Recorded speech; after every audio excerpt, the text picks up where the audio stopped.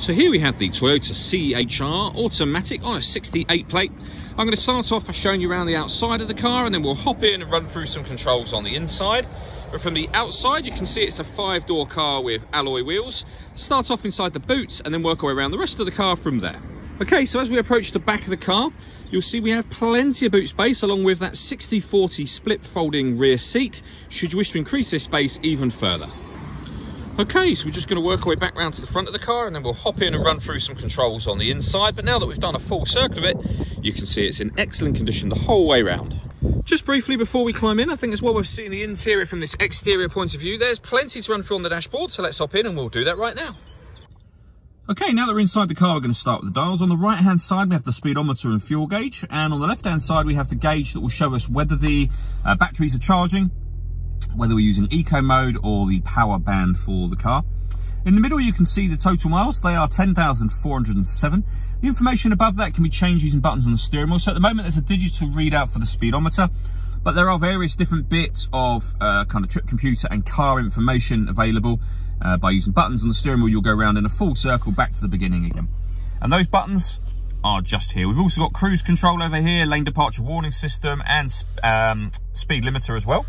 And on the left-hand side, we have stereo and phone controls. The phone controls can only be used after such time as you've paired the phone up. And that is done over in the center area just here. Uh, hit the phone button down the bottom corner and then pair your phone from there. We're on the music menu at the moment. So you can see that this car has got AM, FM and DAB radio, as well as auxiliary input, Bluetooth audio, iPod input, and also USB input so you can plug in a memory stick, for example, with music on it that way. So plenty of ways to listen to your music. If I pop the car into reverse, you'll see that we have a full color reversing camera with guidelines showing you what direction the car is headed in in relation to the image that you see on the screen. Working our way down from that, we have dual zone climate control. So you can adjust the passenger and driver temperatures, the fan speed up and down, you can determine where you'd like the air to be distributed. When you're happy with those settings, that button turns the air conditioning on or off. It's on at the moment, so off or back on again. Or you can hit auto and the car will now maintain those temperatures by taking control of the fan speed and the direction of the air to do so. And to override that, you can just readjust the fans at any point in time you wish to and put it back on whatever setting you want it on just here. Underneath that, we have the auxiliary and USB input underneath uh, this little catch just here, so you can plug in your iPod, uh, uh, your memory stick, or an auxiliary device there.